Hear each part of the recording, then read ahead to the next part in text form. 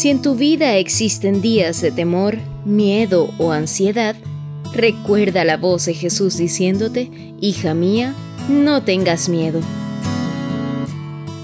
Disfruta cada día por Radio Nuevo Tiempo este inspirador devocional para damas. Yo estoy contigo.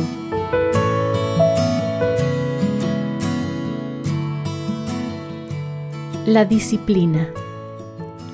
Yo, el Señor, afirmo, no temas, pueblo de Jacob, siervo mío, no tengas miedo, Israel, pues a ti y a tus hijos los libraré de ese país lejano donde están desterrados. Volverás a vivir en paz, tranquilo, sin que nadie te acuse. Jeremías 30:10 La disciplina paternal tiene tres fases. Disciplina preventiva, en que el padre le advierte a su hijo lo que le podría ocurrir si desobedece disciplina correctiva que incluye consecuencias naturales o consecuencias aplicadas y disciplina redentora en que los hijos tienen la opción de pedir perdón por la falta cometida y los padres tienen la responsabilidad de concederlo. Dios, el Padre Perfecto, practicó estas tres fases de disciplina le advirtió a su pueblo en muchas ocasiones lo que les ocurriría si lo desobedecían. Cumplió su advertencia y Judá fue llevado cautivo.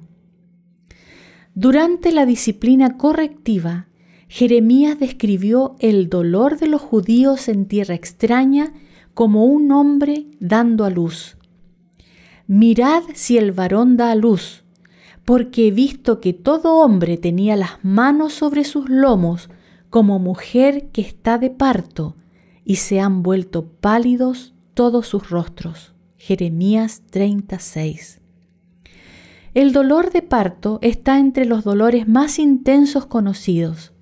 Puede sobrepasar por mucho el dolor de romperse un hueso. La figura de un hombre con dolores de parto, expresa la intensa angustia que el pueblo desobediente experimentó en los días de cautiverio. Dios no abandonó a su pueblo en el tiempo de prueba. Estaba listo para ofrecer disciplina redentora. Yo estoy contigo para salvarte, dice Jehová, y destruiré a todas las naciones entre las cuales te esparcí pero a ti no te destruiré, sino que te castigaré con justicia. De ninguna manera te dejaré sin castigo, mas yo haré venir sanidad sobre ti y sanaré tus heridas, dice Jehová. Jeremías 30, 11 y 17. Así fue consolada la iglesia de Dios en una de las horas más sombrías de su largo conflicto contra las fuerzas del mal. Satanás parecía haber triunfado en sus esfuerzos por destruir a Israel, pero el Señor predominaba sobre los acontecimientos del momento y durante los años que iban a seguir su pueblo tendría oportunidad de redimir lo pasado. El Señor iba a ser reconocido como príncipe sobre todas las familias de Israel.